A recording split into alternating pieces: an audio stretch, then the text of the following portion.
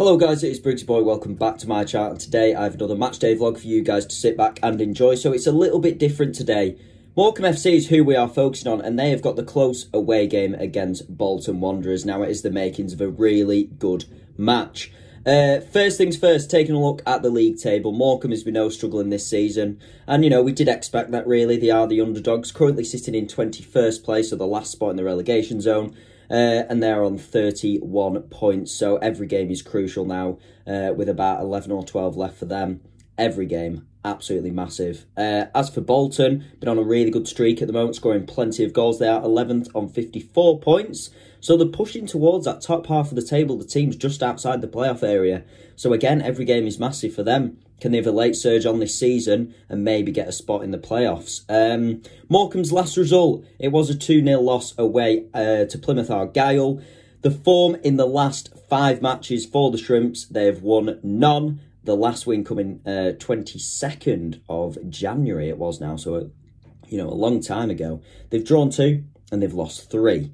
As for Bolton, their last result was a 3 0 win away at Gillingham. And the form the last five games for Bolton, they've won three, drawn none, and lost two. Bolton are a high scoring team at the moment. I look at the results, they're scoring three, four, most games. They've absolutely battered some teams this season, so you never know what is going to happen against them, but hopefully should be an entertaining game. Uh, my score prediction for today could go one or two ways, really. Bolton could steamroll Morecambe, or it could be a really close, a really tight game.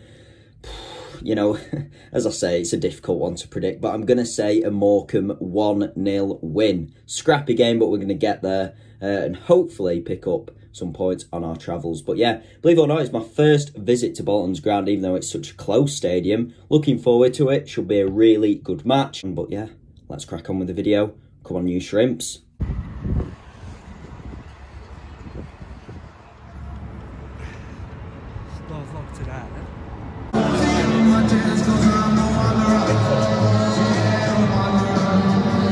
Wherever you want there.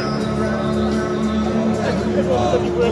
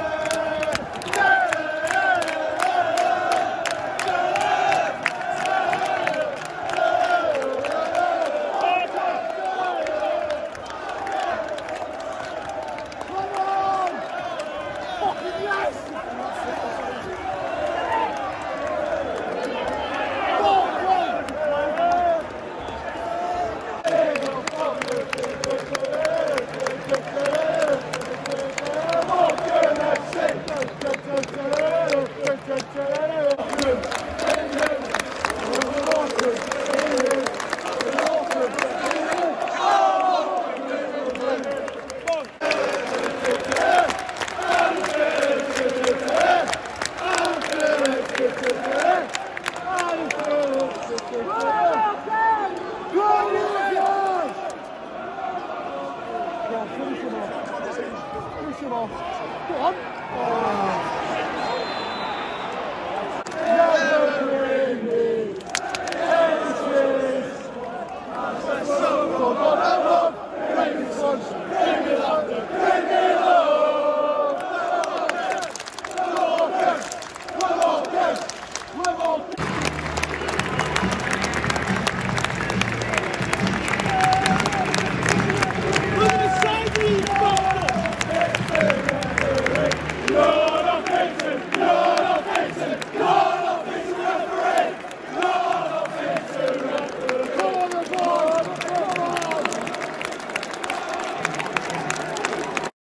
paraphrase that question again. Looked like you were going to get three points. You only got one. How do you feel about the performance and the outcome?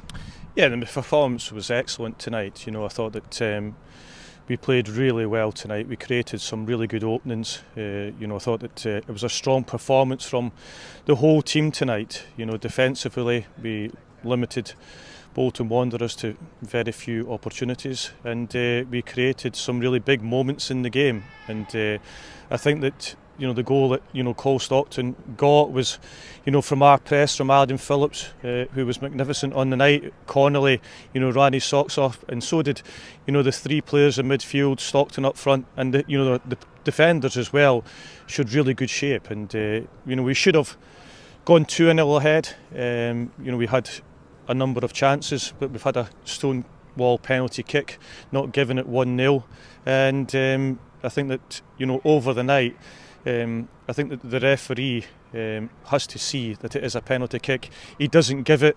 The linesman on the side doesn't give it, and uh, you know, I don't know if they thought they had to send a player off because he was sliding in, and you know, it's a it's it's a really bad challenge from their player, and uh, you know, Connolly is in full momentum, takes the ball past him and gets wiped out, and I don't understand why you know the penalty you know hasn't been given, but in the end, um, you know, we've we've taken a point, we've got you know, a lot of decisions didn't go for us tonight. I think that um, I thought the Wanderers got a lot of decisions going their way.